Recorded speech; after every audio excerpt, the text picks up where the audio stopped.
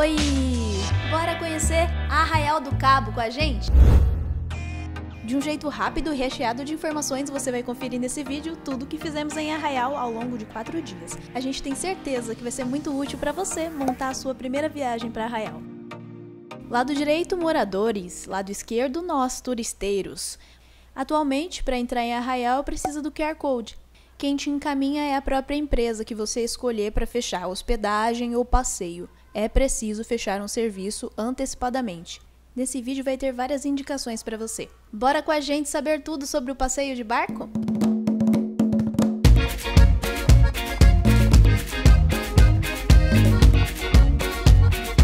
E o nosso ponto de partida é aqui na Praia dos Anjos. Por aqui, além dos barcos de passeio, tem também os barcotáxis, que te levam lá para a Praia do Forno, aquela praia do mirante maravilhoso, ou então para as prainhas do Pontal do Atalaia, a da escadaria famosa. Já te conto mais. Sim, antes de entrar no barco tem que pagar uma taxa de embarque, custa 10 reais. Por isso é importante também não se atrasar, porque você tem que passar nessa fila primeiro para depois se encontrar com o pessoal lá do seu barco.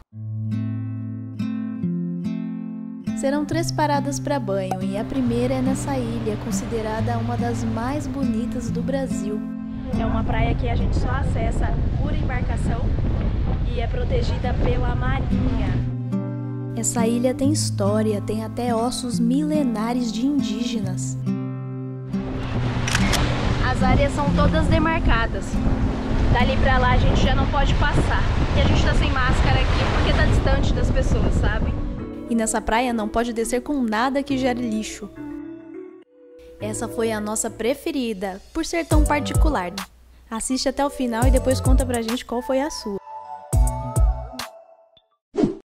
Vem com a gente nessa segunda parada para banho nas prainhas do Pontal do Atalaia. No caminho, a embarcação faz umas paradas para a gente conhecer umas formações rochosas. E quando a gente vai chegando próximo às prainhas, já dá para perceber a mudança na coloração da água. É incrível!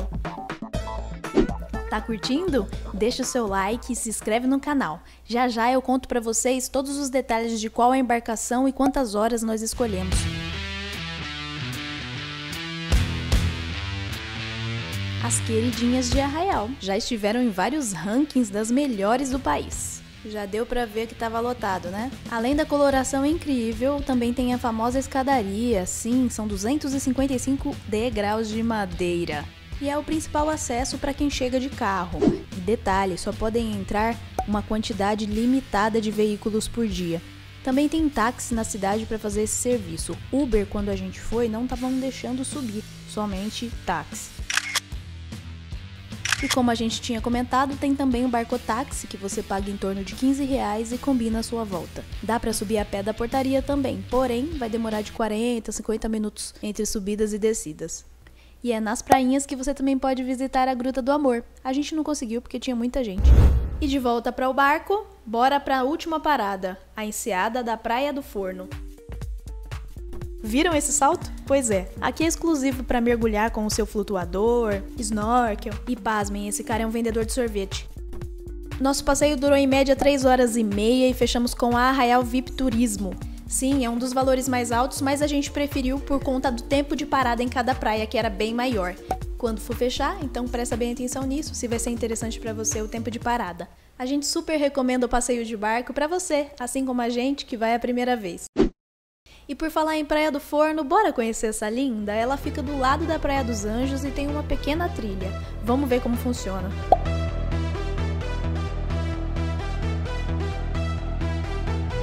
Passamos aqui pela entrada da trilha da Praia do Forno, eles consultam para ver se a gente não tá com objetos de vidro. Falando pro Lucas, vamos devagar que eu não tô em forma não. Nem eu. Socorro. Se você tiver o tênis aí na sua mala, já usa ele nessa hora, porque dependendo do chinelo ele escorrega. Nessa praia não é permitido levar animais domésticos, acessórios para churrasco, caixa de som ou embalagem de vidro. E em 10, 15 minutos chegamos nos mirantes maravilhosos. E mais 5 minutos para chegar na praia. Na beirada, a água tava com essa aparência escura, pareciam algas, uns matinhos. Se você sabe do porquê, Escreve pra gente aqui nos comentários. Eu espero que não seja por influência humana.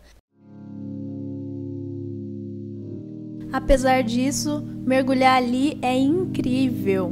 Bem na beiradinha você consegue ver vários peixinhos. Se não tiver muito cheio, até com tartaruga você vai mergulhar.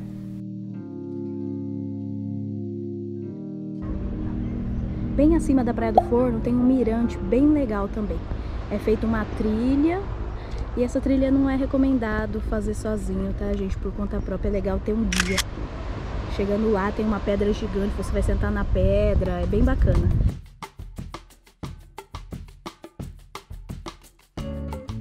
Para voltar, nós fizemos a trilha de novo, mas você pode também optar pelo barco táxi. Dica econômica maravilhosa! Bateu aquela fome? Olha essa dica de almoço em um restaurante na Praia dos Anjos. Depois que acabar esse vídeo, vem pro Instagram que a gente tem mais dicas lá nos stories. Vocês estão animados, galera? Sim. Alguém tá com medo? Tem vontade de fazer o mergulho com cilindro? Pois o Lucas foi viver essa experiência e a gente vai com ele. A seguir, vamos visitar uma praia secreta em Arraial. E também conhecer a Praia Grande, pôr do sol maravilhoso, queridíssima pelas famílias e também para fotos instagramicas. A gente, estou pronto, estou vestido a caráter para fazer o mergulho aqui com a Aqua World. Show de bola. Vamos ver o que, que vai dar.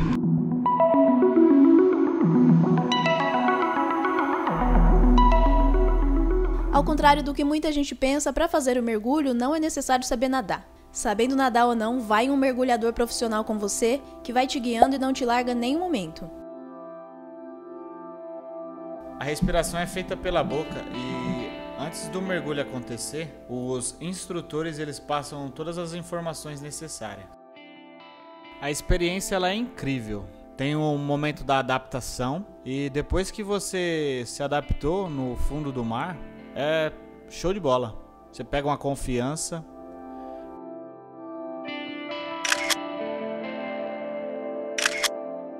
Lucas só não teve a sorte de encontrar com tartarugas, mas por falar em tartarugas,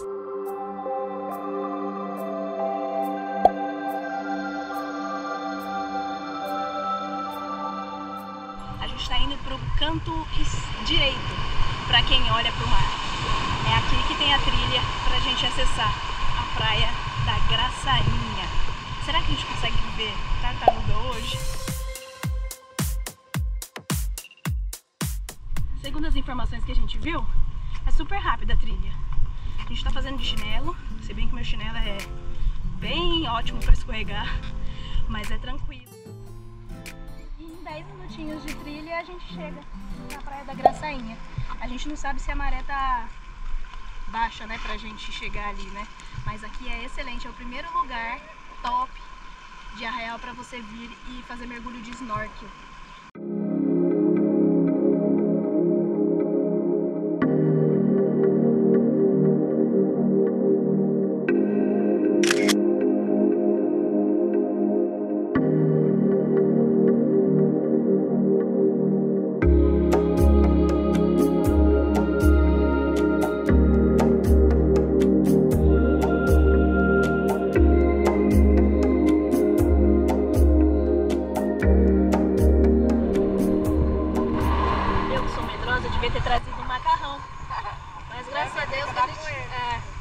Mas graças a Deus que a gente comprou aqui o Pedro e a Elisângela. E você, qual o seu nome? André. Ah, tá.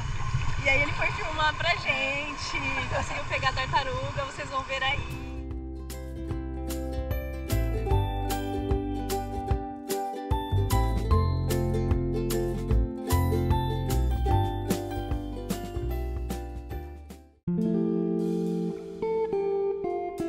A Praia Grande é grande mesmo, tem uma faixa de areia de 40 quilômetros de extensão. Mas e essa água escura? Não é do jeito que a gente tinha visto nas redes sociais. Pois é, eu dei uma pesquisada e existe um fenômeno chamado ressurgência, que é quando nutriente sai lá do fundo do mar e vem para a superfície. Isso é excelente para a vida marinha e acontece em poucos lugares do mundo. Segundo informações de um morador, demora de 3 a 4 dias para voltar à coloração normal. Menos mal, né? A gente já pensa em poluição.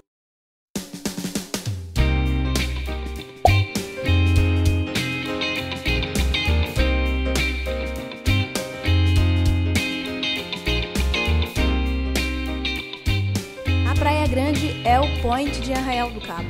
Por ter um pôr do sol incrível, estrutura de praia, tem fácil acesso para famílias, principalmente para quem está com criança, ótimo lugar para banho e cantinhos que viralizaram nas fotos do Instagram. E por falar nisso, antes de fechar com o pôr do sol, vamos ali, no deck dos pescadores, no canto esquerdo da Praia Grande, de quem olha para o mar, bem próximo da estátua da Flávia Alessandra, vai ter uma entrada. Aqui no centro da tela vocês vão ver, é uma área de pescadores e aqueles pequenos decks ali são incríveis para fotografia. Você já ouviu falar naquela janela do céu aqui de Arraial? é aquele ponto no centro da tela ali, ó. Aquele sobrado meio abandonado, meio não, completamente abandonado. É onde as pessoas entram para fazer a fotinha na janela, principalmente no pôr do sol, que eu acho que é a hora que o sol tá melhor. Eu não comprei uma boia numa lojinha ali perto não, né? Pois é, comprei. Comprei para ficar que nem criança na beirada ali, tranquilex. A água parece piscina mesmo, é só a coloração que estava alterada nesse dia.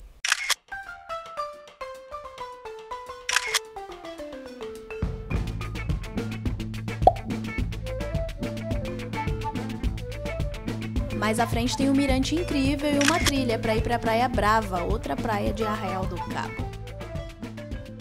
A Praia Grande é uma das praias de Arraial mais queridinhas para ver o pôr do sol. É realmente muito lindo, a gente está esperando.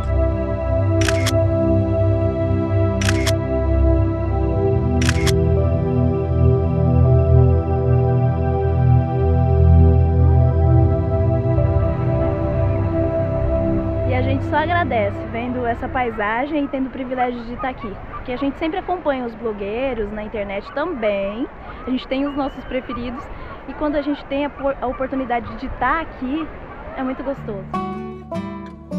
Curtiu? Ainda tem muito mais lugares para conhecer em Arraial. Quem sabe a gente não volta um dia e compartilha mais com vocês. Inscreva-se no canal, ative as notificações para ser avisado dos próximos vídeos. Até! Não pode entrar com som, caixa de som aqui. Amém, glória a Deus. Desculpa, fui sincera demais. O cheiro aqui não é agradável não, viu? Já aviso. Mas se você quiser, faça a fotinha e vaze correndo daqui.